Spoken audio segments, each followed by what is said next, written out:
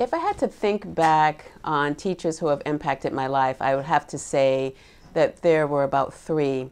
But one in particular who stands out the most uh, was my NYU professor, Dr. Suzanne Carothers. And Dr. Carothers, for me, gave me a beautiful model and an example of what it meant to be a black woman in the academy. Uh, I had a few careers. I'd come from corporate America. Uh, I had um, seeing what it was like to be in corporate America as a woman, but the academy was something new for me. And I remember taking a class with her. There were three other instructors, but she stood out for me.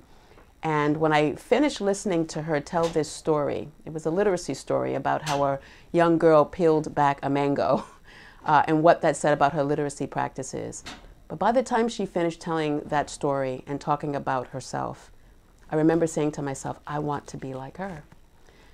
And I've been trying, I think, for the 10 or 12 years that I've been in the academy to see her as a model. While I forge my own way and work with my students, she definitely, definitely has been a model for me.